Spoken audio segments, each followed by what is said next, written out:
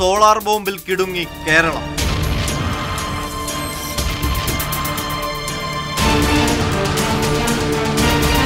ബലാത്സംഗ കേസിൽ കുടുങ്ങി സമുന്നതർ. ക്രൈം ന്യൂസ് ഇന്ന് രാത്രി പത്തരയ്ക്ക്.